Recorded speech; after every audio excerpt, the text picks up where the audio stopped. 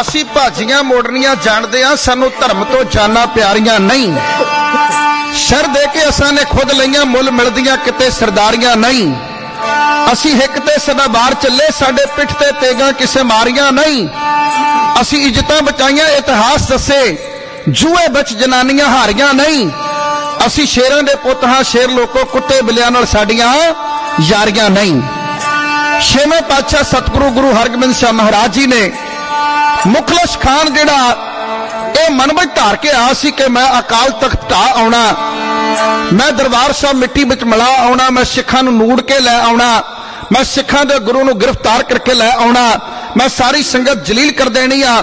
ਗੁਰੂ ਸਾਹਿਬ ਜੀ ਦੀ ਧੀ ਰਾਣੀ ਦੇ ਵਿਆਹ ਦੇ ਵਿੱਚ ਮੈਂ ਖੱਲਰ ਪਾ ਕੇ ਆਉਣਾ ਉਦੋਂ ਬਰਾਤਾਂ ਤਿੰਨ ਤਿੰਨ ਚਾਰ ਚਾਰ ਦਿਨ ਰਹਿੰਦੀਆਂ ਹੁੰਦੀਆਂ ਸਨ।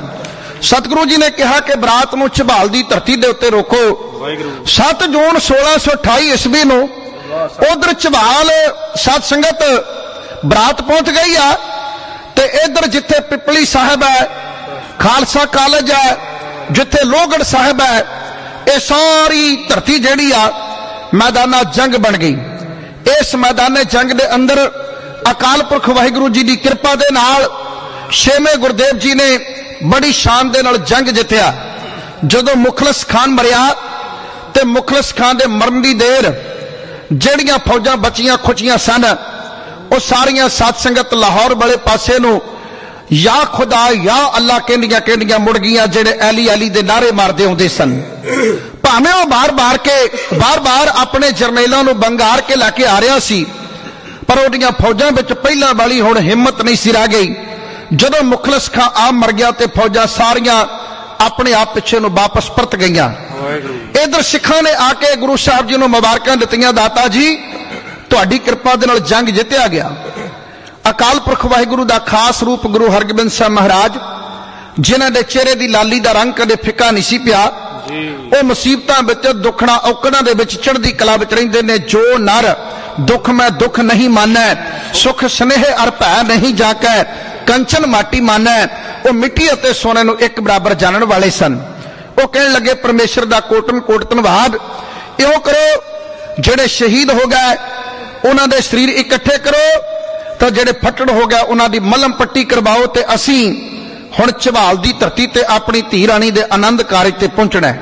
ਸਤ ਸੰਗਤ 7 ਜੂਨ 1628 ਈਸਵੀ ਨੂੰ ਜਨੇਤ ਆਈ। ਸਾਰਾ ਦਿਨ ਬਰਾਤ ਦੀ ਸੇਵਾ ਟਾਲ ਕੀਤੀ ਗਈ। ਭਾਈ ਲੰਗਾ ਜੀ ਦੀ ਹਵੇਲੀ ਦੇ ਵਿੱਚ ਉਤਾਰਾ ਕਰਵਾਇਆ ਗਿਆ ਬਰਾਤ ਦਾ। ਤੇ ਅਗਲੇ ਦਿਨ 8 ਜੂਨ ਵਾਲੇ ਦਿਨ ਆਨੰਦ ਕਾਰਜ ਹੋਣਾ ਹੈ। ਗੁਰੂ ਹਰਗੋਬਿੰਦ ਸਾਹਿਬ ਮਹਾਰਾਜ ਆਪਣੇ ਕੁੜਮਾਂ ਨੂੰ ਕਲਾ ਵਿੱਚ ਲੈ ਕੇ ਗਲਬਕੜੀ ਵਿੱਚ ਲੈ ਕੇ ਮਿਲਣੀਆਂ ਕਰਦੇ ਨੇ। ਤੇ ਛੇਵੇਂ ਪਾਤਸ਼ਾਹ ਦੀ ਇਕਲੋਤੀ ਧੀ ਰਾਣੀ ਹੈ, ਜਿਹਦਾ ਆਨੰਦ ਕਾਰਜ ਬੜਾ ਅਨੋਖੇ ਤਰੀਕੇ ਦੇ ਨਾਲ ਹੋਣ ਲੱਗਾ ਹੈ। ਸਤਿਗੁਰੂ ਸਾਹਿਬ, ਇੱਕ ਤੇ ਜੰਗ ਜਿੱਤਣ ਦੀ ਖੁਸ਼ੀ, ਦੂਸਰਾ ਆਪਣੀ ਧੀ ਰਾਣੀ ਦੇ ਆਨੰਦ ਕਾਰਜ ਦੀ ਖੁਸ਼ੀ ਕਿਸ ਢੰਗ ਦੇ ਨਾਲ ਮਨਾ ਰਹੇ ਆ, ਇਹ ਆਖਰੀ ਕਪਤਾ ਮੈਂ ਆਪ ਜੀ ਦੀ ਸੇਵਾ ਵਿੱਚ ਕਹਿ ਕੇ ਅੱਜ ਇਸ ਪ੍ਰਕਰਨ ਨੂੰ ਸੰਪੂਰਨ ਕਰਨ ਲੱਗਾ ਅੱਜ ਅੱਜ ਤੋਂ 366 ਬਰੇ ਪਹਿਲਾਂ ਗੁਰੂ ਹਰਕ੍ਰਿਸ਼ਨ ਮਹਾਰਾਜ ਕੀਰਤਪੁਰ ਸਾਹਿਬ ਦੀ ਧਰਤੀ ਦੇ ਉੱਤੇ ਪ੍ਰਗਟ ਹੋਏ ਸ਼ੀਸ਼ ਮਹਿਲ ਸਾਹਿਬ ਉਸ ਪਵਿੱਤਰ ਸਥਾਨ ਨੂੰ ਕਿਹਾ ਜਾਂਦਾ ਹੈ, ਜਿੱਥੇ ਸਤਿਗੁਰੂ ਜੀ ਪ੍ਰਕਾਸ਼ਮਾਨ ਹੋ ਕੇ ਸੰਗਤ ਨੂੰ ਤਾਰਨ ਆਏ। ਗੁਰੂ ਸਾਹਿਬ ਜੀ ਦੇ ਚਰਨਾਂ ਨੂੰ ਪਿਆਰ ਕਰਨ ਵਾਲੀ ਸਾਰੀ ਸੰਗਤ ਜਾਣਦੀ ਹੈ ਕਿ ਦਸਵੇਂ ਪਾਤਸ਼ਾਹ ਨੇ ਆਖਿਆ ਕਿ ਸ੍ਰੀ ਹਰਕ੍ਰਿਸ਼ਨ ਧਿਆਈਆ ਜਿਸ ਡਿਠੇ ਸਭ ਦੁਖ ਜਾਏ। ਗੁਰੂ ਹਰਕ੍ਰਿਸ਼ਨ ਮਹਾਰਾਜ ਜੀ ਦਾ ਜ ਪ੍ਰਕਾਸ਼ ਦਿਹਾੜਾ ਦੁਪਹਿਰ ਦੇ ਦੀਵਾਨ ਵਿੱਚ ਉਹਨਾਂ ਦਾ ਜੀਵਨ ਆਪਾਂ ਪੂਰਾ ਹਫਤਾ ਵਿਚਾਰਿਆ ਅੱਜ ਉਹਨਾਂ ਦੇ ਵੱਡਿਆਂ ਦੀ ਕਹਾਣੀ ਹੈ, ਗੁਰੂ ਹਰਕ੍ਰਿਸ਼ਨ ਮਹਾਰਾਜ ਜੀ ਦੇ ਸਤਕਾਰਯੋਗ ਪਿਤਾ ਜੀ, ਸਤਵੇਂ ਪਾਤਸ਼ਾਹ ਗੁਰੂ ਹਰਰੇ ਮਹਾਰਾਜ, ਉਹਨਾਂ ਦੀ ਸਕੀ ਭੂਆ ਹੈ ਬੀਬੀ ਬੀਰੋ ਬੀਬੀ ਬੀਰੋ ਦੀ ਆਨੰਦ ਕਾਰਜ ਹੋਣ ਲੱਗਾ ਸਾਡੇ ਧਰਮੰਦਰ ਬੜੇ ਅਨੋਖੇ ਅਨੋਖੇ ਵਿਆਹ ਹੋਏ ਨੇ। ਗੁਰੂ ਨਾਨਕ ਦੇਵ ਮਹਾਰਾਜ ਦਾ ਵਿਆਹ ਜਦੋਂ ਬਰਾਤ ਗਈ ਤਾਂ ਬਟਾਲੇ ਵਾਲਿਆਂ ਨੇ ਸਵਾਗਤ ਕੀਤਾ। ਪਰ ਪੰਡਤ ਜਿਹੜਾ ਸੀ ਉਹ ਕਹਿਣ ਲੱਗਾ ਕਿ ਗੱਭਰੂ ਨੇ ਜੰਜੂ ਹੀ ਨਹੀਂ ਪਾਇਆ, ਬਾਬੇ ਨਾਨਕ ਨੂੰ ਆਖੋ ਪਹਿਲਾਂ ਜੰਜੂ ਪਵਾਵੇ ਤਾਂ ਬੇਦੀ ਦੁਆਲੇ ਫੇਰੇ ਕਰਵਾਵਾਂਗਾ। ਸਤਿਗੁਰੂ ਮਹਾਰਾਜ ਕਹਿਣ ਲੱਗੇ, ਜੰਜੂ ਪਾਉਣ ਨੂੰ ਤਿਆਰ ਹੈ। ਪਰ ਪਾਉਣਾ ਉਹ ਆ ਜਿਹੜਾ ਨਾ ਉਹ ਟੁੱਟਾ, ਨਾ ਮਲ ਲੱਗਾ, ਨਾ ਉਹ ਜਲਿਆ ਨਾ ਜਾਏ। ਧੰਨ ਸੋ ਮਾਨਸ ਨਾਨਕਾ ਜੋ ਗੱਲ ਚੱਲੇ ਪਾਏ। ਤੇ ਪੰਡਤ ਨੂੰ ਕੋਈ ਜਵਾਬ ਨਹੀਂ, ਸਗੋ ਕੁੜੀਆਂ ਦੇ ਰਾਹੀਂ ਬਾਬੇ ਦੇ ਉੱਤੇ ਕੰਧ ਸਟਵਾਉਣੀ ਚਾਹੀ। ਤੇ ਉਹ ਕੰਧ ਅੱਜ ਵੀ ਸਤ ਸੰਗਤ ਸਾਡੇ ਪੰਥ ਦੀ ਆਨ ਸ਼ਾਨ ਹੈ। ਉਸ ਤੋਂ ਬਾਅਦ ਵਿੱਚ ਗੁਰੂ ਰਾਮਦਾਸ ਮਹਾਰਾਜ ਦਾ ਵਿਆਹ। ਜਿੰਨੇ ਮੂੰਹ ਉਹਨੀਆਂ ਗੱਲਾਂ ਹੁੰਦੀਆਂ ਨੇ, ਲੋਕੀ ਆਖਦੇ ਨੇ ਲੜਕੀ ਦੇ ਪਿਤਾ ਗੁਰੂ ਅਮਰਦਾਸ ਮਹਾਰਾਜ ਹਨ। ਉਹਨਾਂ ਦੇ ਚਰਨਾਂ ਵਿੱਚ ਅਕਬਰ ਦਾ ਸਿਰ ਝੁਕਦਾ ਹੈ। ਪਰ ਜਿਹੜਾ ਗੱਭਰੂ ਸਿਰੇ ਬਨ ਕੇ ਵਿਆਹਣ ਆਇਆ, ਇਹ ਘੁੰਗਣੀਆਂ ਵੇਚਣ ਦਾ ਕੰਮ ਕਰਦਾ ਹੈ। ਲੋਕ ਗੱਲਾਂ ਕਰਦੇ ਸਨ। ਟਾਮੇ ਟਾਮੇ ਕਹਿੰਦੇ ਸਨ, ਗੁਰੂ ਅਮਰਦਾਸ ਜੀ ਦੇ ਹੱਥ ਵਿੱਚ ਕੁੱਲ ਦੁਨੀਆ ਦਾ ਰਿਮੋਟ ਹੈ। ਉਹ ਚਾਹਣ ਇਹ ਘੁੰਗਣੀਆਂ ਵੇਚਣ ਵਾਲੇ ਨੂੰ ਖਬਰੇ ਦੀਨ ਦੁਨੀ ਦਾ ਪਾਤਸ਼ਾਹ ਬਣਾ ਦੇਣ। ਕਈ ਕਹਿੰਦੇ ਸਨ, ਬੀਬੀ ਭਾਨੀ ਦੇ ਨਾਲ ਪਤਾ ਨਹੀਂ ਕਿਹੜੇ ਜਨਮ ਦਾ ਬੈਰ ਲਿਆ ਮਹਾਰਾਜ ਨੇ। ਉਹਨੂੰ ਗਰੀਬੀ ਦੀ ਖੱਡ ਵਿੱਚ ਸੁੱਟ ਦਿੱਤਾ। ਉਹ ਛੋਟਾ ਜਿਹਾ ਹਟਵਾਣੀਆਂ ਘੁੰਗੜੀਆਂ ਵੇਚਣ ਵਾਲਾ ਘੁੰਗੜੀਆਂ ਦੀ ਛਾਬੜੀ ਲਾਉਣ ਵਾਲਾ ਘੁੰਗੜੀਆਂ ਬੱਕਲੀਆਂ ਨੂੰ ਕਹਿੰਦੇ ਨੇ। ਕਣਕ ਦੇ ਦਾਣੇ, ਛੋਲਿਆਂ ਦੇ ਦਾਣੇ, ਮੱਕੀ ਦੇ ਦਾਣੇ ਉਬਾਲ ਕੇ ਉੱਤੇ ਮਿਰਚ ਮਸਾਲਾ ਪਾ ਦੇਣਾ, ਉਹਨੂੰ ਕਹਿੰਦੇ ਨੇ ਘੁੰਗੜੀਆਂ ਅੱਜ ਦੀ ਭਾਸ਼ਾ ਦੇ ਵਿੱਚ ਆਪਾਂ ਚਾਟ ਮਸਾਲੇ ਕਹਿ ਦਿੰਦੇ ਨੇ ਸਤ ਸੰਗਤ, ਉਹ ਕਹਿਣ ਲੱਗੇ, ਗਰੀਬੀ ਦੀ ਖੱਡ ਵਿੱਚ ਧੱਕਾ ਦੇ ਦਿੱਤਾ, ਪਰ ਨਹੀਂ। ਸਤਿਗੁਰੂ ਪਾਤਸ਼ਾਹ ਜੀ ਦੇ ਹੱਥ ਵਿੱਚ ਬਹੁਤ ਵੱਡੀਆਂ ਭਾਰੀਆਂ ਬਰਕਤਾਂ ਹਨ। ਪੰਜਵੇਂ ਪਾਤਸ਼ਾਹ ਜੀ ਦਾ ਵਿਆਹ ਦੁਆਬੇ ਦੀ ਧਰਤੀ ਦੇ ਉੱਤੇ ਫਲੌਰ ਦੇ ਲਾਗੇ ਮੌ ਸਾਹਿਬ ਪਿੰਡ ਹੈ। ਉੱਥੇ ਮੌ ਪਿੰਡ 'ਚ ਵਿਆਹਣ ਰੱਬ ਆਇਆ ਪਰ ਲੋਕਾਂ ਤੋਂ ਪਛਾਣ ਨਹੀਂ ਹੋਇਆ। ਛੇਵੇਂ ਪਾਤਸ਼ਾਹ ਮਹਾਰਾਜ ਦਾ ਵਿਆਹ ਲੋਹੀਆਂ ਦੇ ਲਾਗੇ ਡੱਲਾ ਪਿੰਡ ਹੈ। ਡੱਲਾ ਸਾਹਿਬ ਦੀ ਧਰਤੀ ਦੇ ਉੱਤੇ ਮਾਤਾ ਦਮੋਦਰੀ ਜੀ ਅਤੇ ਗੁਰੂ ਹਰਗੋਬਿੰਦ ਸਾਹਿਬ ਮਹਾਰਾਜ ਸੱਚੀ ਸਰਕਾਰ ਦਾ ਆਨੰਦ ਕਾਰਜ ਹੋਇਆ। ਇਹ ਆਨੰਦ ਕਾਰਜ ਵਾਕਈ ਜਿੱਥੇ ਜਿੱਥੇ ਹੁੰਦੇ ਨੇ, ਉਹਨਾਂ ਥਾਵਾਂ ਦੇ ਉੱਤੇ 100-100 ਫੁੱਟ ਉੱਚੇ ਨਿਸ਼ਾਨ ਸਾਹਿਬ ਝੂਲਦੇ ਨੇ। ਛੇਵੇਂ ਪਾਤਸ਼ਾਹ ਮਹਾਰਾਜ ਜੀ ਦੇ ਵੱਡੇ ਸਾਹਿਬਜ਼ਾਦਾ ਬਾਬਾ ਗੁਰਦਿੱਤਾ ਜੀ, ਉਹਨਾਂ ਦਾ ਵਿਆਹ ਬਟਾਲੇ ਦੀ ਧਰਤੀ ਤੇ ਹੋਇਆ। ਆਨੰਦ ਕਾਰਜ ਅਸਥਾਨ ਦੇ ਉੱਤੇ ਗੁਰੂ ਗ੍ਰੰਥ ਸਾਹਿਬ ਦਾ ਪ੍ਰਕਾਸ਼ ਹੈ। ਅੱਜ ਗੁਰੂ ਸਾਹਿਬ ਜੀ ਆਪਣੇ ਦੂਸਰੇ ਬੱਚੇ, ਪਹਿਲੇ ਬਾਬਾ ਗੁਰਦਿੱਤਾ ਜੀ ਬਾਬਾ ਗੁਰਦਿੱਤਾ ਜੀ ਸਨ। ਉਹਨਾਂ ਤੋਂ ਛੋਟੇ ਸਨ ਬੀਬੀ ਬੀਰੋ ਜੀ। ਗੁਰੂ ਤੇਗ ਬਹਾਦਰ ਮਹਾਰਾਜ ਦੀ ਸਕੀ ਭੈਣ ਹੈ। ਬੀਬੀ ਬੀਰੋ ਜੀ ਦਾ ਆਨੰਦ ਕਾਰਜ ਹੋਣ ਲੱਗਾ। ਛੇਵੇਂ ਪਾਤਸ਼ਾਹ ਜੀ ਨੇ ਆਪਣੀ ਧੀ ਰਾਣੀ ਦੇ ਵਿਆਹ ਦੇ ਰਸਮਾਂ ਨੂੰ ਗੁਰਮਤਿ ਅਨੁਸਾਰ ਕਿਵੇਂ ਸੰਪੂਰਨ ਕੀਤਾ, ਕਿਵੇਂ ਸਿਰੇ ਚਾੜਿਆ, ਜੰਗ ਵੀ ਜਿੱਤੀ ਤੇ ਜੰਗ ਦਾ ਵੀ ਭਰਮਾ ਸਵਾਗਤ ਹੋਇਆ। ਦੋਨਾਂ ਕਾਰਜਾਂ ਵਿੱਚ ਸਤਿਗੁਰਾਂ ਨੇ ਕਿਵੇਂ ਸਫਲਤਾ, ਅਕਾਲ ਪੁਰਖ ਵਾਹਿਗੁਰੂ ਦੀ ਕਿਰਪਾ ਨਾਲ ਪ੍ਰਾਪਤ ਕੀਤੀ, ਉਹ ਕਹਾਣੀ ਆਪ ਜੀ ਦੀ ਸੇਵਾ ਵਿੱਚ ਢਾਡੀ ਜੱਥਾ, ਇਹੋ ਬਿਆਨ ਕਰਦਾ ਹੈ।